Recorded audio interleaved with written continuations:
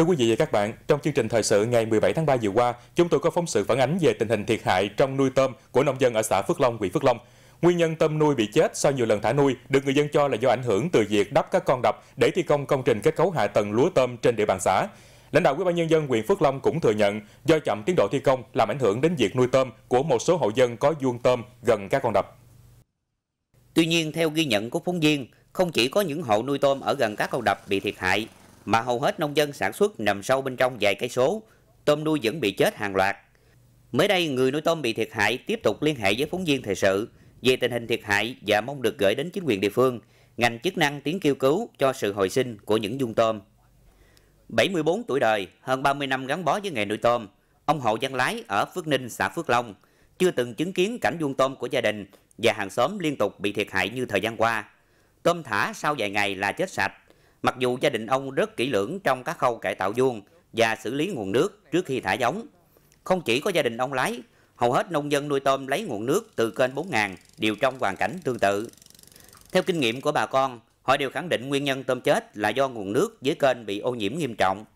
Còn nguyên nhân làm cho nguồn nước bị ô nhiễm chính là do các con đập bị đắp lại nên nguồn nước không được khơi thông với các con sông lớn.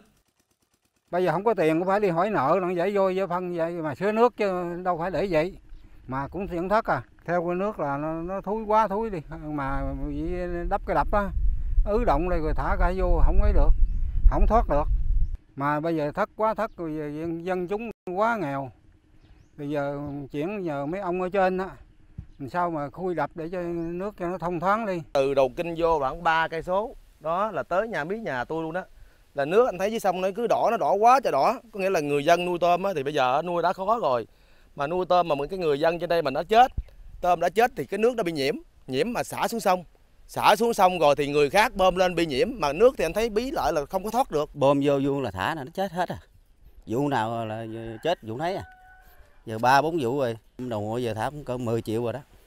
Rồi tiền dầu cũng là cũng 2 triệu bà con đây cũng bức xúc dữ lắm à cũng dự định là viết viết đơn gửi lên tỉnh yêu cầu khui cái đập này cho nước cho bà con ta được bơm quý vị và các bạn thân mến theo nhiều người dân sống dọc theo ờ, kinh 4000 ở ấp Phước Ninh, xã Phước Long thì ờ, nguyên nhân dẫn cho đến tình trạng mà tôm chết hàng loạt trong thời gian qua là do nguồn nước ờ, dưới kênh bị ô nhiễm. Bây giờ dân sĩ sẽ múc một chai nước để đem về Bạc Liêu nhờ cơ quan chuyên môn kiểm tra.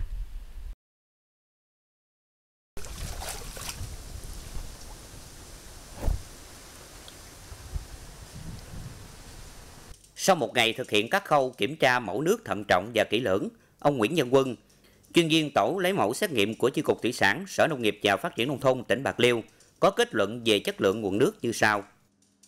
Các chỉ số như môi trường như pH, độ mặn, kiềm và NH3 thì nó nằm trong giới hạn cho phép nuôi.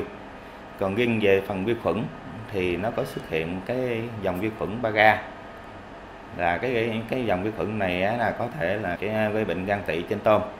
Kế đến nữa là trong mẫu nước này là nó có vi khuẩn phát sáng là nó không không cho phép trong nuôi tôm. Trên mẫu nước này thì pH là 8.0 NH3 là 0.03 kiềm là 160 độ mặn là 30 phần ngàn. Rồi về vi khuẩn thì tổng vi khuẩn viro là 50 vi khuẩn ban ra là 10 ờ, phát sáng thì có thì cái độ mặn 30 phần ngàn thì nói chung nó nằm trong giới hạn cho phép nhưng mà nó cũng là chưa tối ưu trong nuôi tôm như kết quả mà ông Nguyễn Nhân Quân vừa công bố và qua đánh giá chất lượng của nguồn nước ở kênh 4000 không đảm bảo cho việc nuôi tôm của người dân. Điều này cho thấy nguyên nhân làm cho tôm chết được người dân địa phương xác định là có cơ sở. Song để xác định chính xác nguyên nhân tôm chết, hướng khắc phục tình trạng ô nhiễm nguồn nước để giúp cho nông dân thả tôm được thuận lợi hơn, vẫn rất cần được ngành chuyên môn và chính quyền địa phương vào cuộc sát sao và kịp thời hơn.